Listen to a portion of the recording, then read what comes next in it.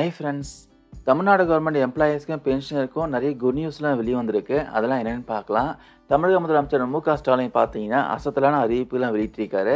அதெல்லாம் என்னென்னு one by ஒன்றா பார்க்கலாம். இந்த வீடியோவை மிஸ் பண்ணாமல் ஸ்கிப் பண்ணாமல் ஃபுல்லாக பாருங்க. கண்டிப்பாக யூஸ்ஃபுல்லாக இருக்கும். ஃபஸ்ட்டு விஷயம் வந்து தமிழக அரசு ஊழியர்களுக்கும் ஓய்வூதியதாரர்களுக்கும் ஜனவரி ஒன்றாம் தேதி முதல் அகவலிப்படை உயர்வு வழங்கப்படும்ட்டு தமிழக முதலமைச்சர் மு க ஸ்டாலின் தெரிவித்திருக்காரு. அரசு ஊழியர்களுடைய நியாயமான கோரிக்கைகளாம் நிச்சயமா நிறைவேற்றப்படும்ட்டு தமிழக முதலமைச்சர் மு க ஸ்டாலின் உறுதிப்பட தெரிவித்திருக்காரு. அரசு ஊழியர்கள் தான் அரசாங்கம் அவர்கள் இல்லாவிட்ட அரசாங்கம் இல்லைன்ட்டு முதல்வர் ஸ்டாலின் பேசியிருக்காரு. நம்ம தமிழ்நாடு அரசு ஊழியர் சங்கம் பதினாலாவது மாநாடு பார்த்தீங்கன்னா நேற்று நடந்திருக்கு. அந்த விழாவில் பார்த்தீங்கன்னா தமிழக முதலமைச்சர் மு க ஸ்டாலின் பங்கேற்றிருக்காரு பேசியிருக்காரு.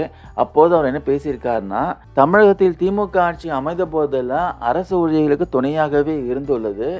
இப்பொழுதும் அதுதான் நிலையாக இருக்குது அரசு ஊழியர்கள் தான் அரசாங்கம்.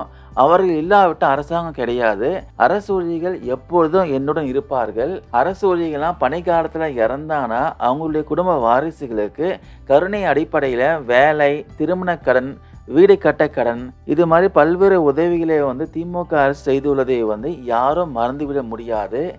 அந்த வகையில் பார்த்தீங்கன்னா இப்பொழுதும் ஆட்சிக்கு வந்து ஆறே மாதத்தில் ஏராளமான திட்டங்கள் அரசு ஊழியர்களுக்காக செயல்படுத்தி உள்ளதாக தமிழக முதலமைச்சர் மு க ஸ்டாலின் வந்து பேசியிருக்காரு.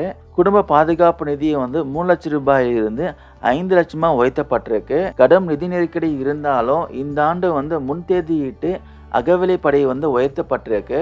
அதனால பதினாறு லட்சம் அரசு ஊழியர்கள்லாம் பயனடைஞ்சிருக்காங்க.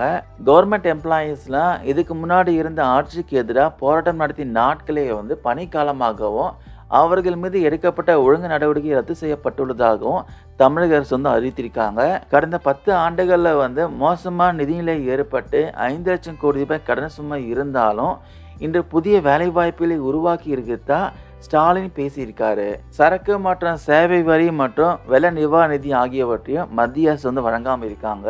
ஆனாலும் மக்கள் நலன் அரசு ஊழிய நலனை காக்க அரசு தவறாது.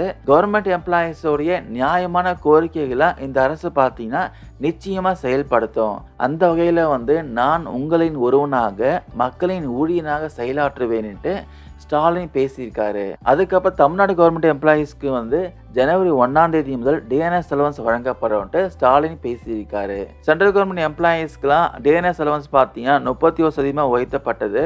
அதுக்கப்புறம் வரும் ரெண்டாயிரத்தி இருபத்தி ரெண்டு ஜனவரியிலும் மத்திய அரசு ஊழியர்களுக்கு பார்த்தீங்கன்னா டிஎன்எஸ் அலவன்ஸ் வந்து மூணு சதவீதம் உயர்த்தப்பட்டு முப்பத்தி நாலு சதவீதமாக உயர்த்தப்படும்ட்டு எதிர்பார்ப்பு இருந்திருக்கு. அரசு வட்டார தகவல் வெளிவந்திருக்கு இதில் முக்கியமான டவுட்டே பார்த்தீங்கன்னா இந்த அகவலைப்படை உயர்வு வந்து முன்தேதிட்டு வழங்கப்படுமா?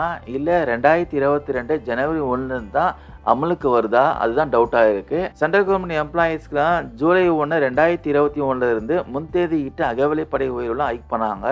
இதே மாதிரி தமிழக அரசு ஊழியருக்கும் ஹைக் பண்ணுவாங்களா? இல்லை ஜனவரி ரெண்டாயிரத்தி இருபத்தி தான் அமலுக்கு வருமா? எல்லாமே பொறுத்துன்னு தான் பார்க்கணும்.